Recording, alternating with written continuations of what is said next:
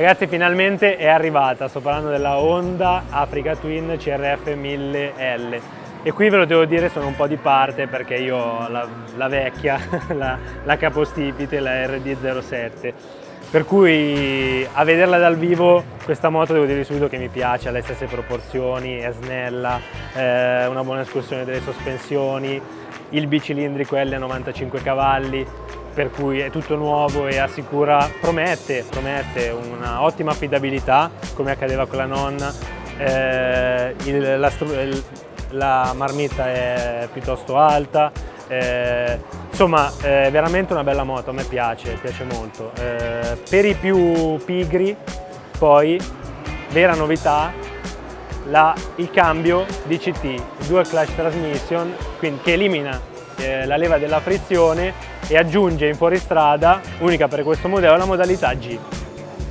All'ECMA 2015 Honda presenta in tema Adventure sempre questo concept eh, ADV che altro non è se non uno scooter eh, con eh, cerchiaraggi e ruote tastellate, quindi con una vocazione fuoristradistica.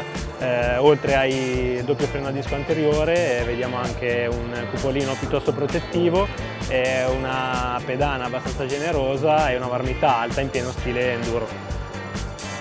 La X è sempre una lettera importante in casa Honda che eh, porta un, tutta una serie di novità, a cominciare dall'NC 750 eh, eh, che ha un cupolino adesso più alto eh, di 7 cm, una nuova strumentazione digitale e un edito faro a LED per farsi vedere meglio di notte.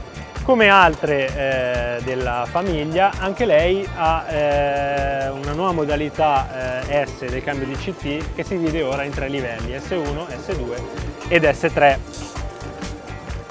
Passiamo poi alla CB500X che conquista anche lei gruppi ottici a LED, eh, un cupolino eh, più alto di 10 mm e ehm, e un eh, leveraggio del cambio più preciso. Novità anche per la Honda Cross Tourer che per il 2016 conquista l'omologazione Euro 4 per il V4 capace di 129 cavalli e per le versioni con il cambio DCT conquista anche eh, tre modalità, sottomodalità della modalità S, quindi S1, S2 ed S3. Eh, Inoltre abbiamo anche la presa 12 volt eh, per ricaricare smartphone o navigatore e il parabrezza regolabile, perfino in marcia con una sola mano.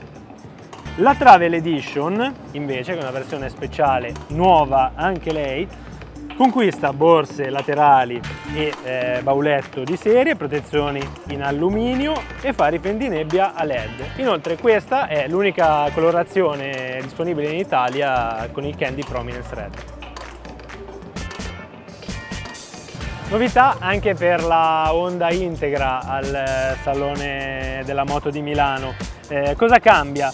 Beh, intanto eh, conquista nuovi gruppi ottici a LED, eh, e un quadro strumenti retroilluminazione negativa che permette anche di scegliere il colore che più preferite.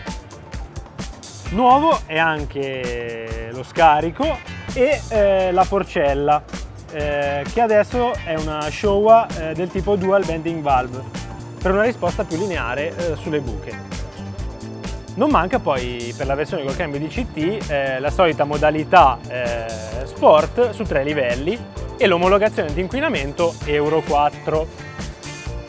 Sulla stessa base eh, della Integra c'è anche però l'NC750S che conquista modifiche di dettaglio per questo EICMA. Eh, innanzitutto in Italia è disponibile con, solo con il cambio a doppia frizione DCT. Eh, il motore è sempre il bicilindrico parallelo da 55 cavalli ma Euro 4 e ci sono nuove colorazioni, la stessa strumentazione che abbiamo visto sull'Integra e gruppi ottici a LED. Sempre senza dimenticare la modalità del cambio automatico S divisa in tre. La CB500F ad EICMA porta un nuovo sguardo con eh, un faro a LED, nuove colorazioni più aggressive eh, un nieto terminale di scarico per un sound eh, un pochino più presente rispetto al passato.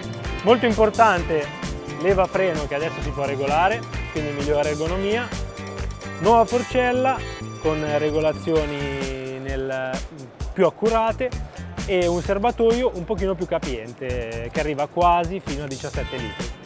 L'altra faccia della medaglia CB500 è la CBR 500R che come vedete è una versione dall'accento molto più sportivo, quindi semimanubri, eh, comunque leva del freno eh, regolabile, sovrastrutture molto snelle e fra le gambe del pilota lo stesso bicilindrico parallelo da 48 cavalli della CB500.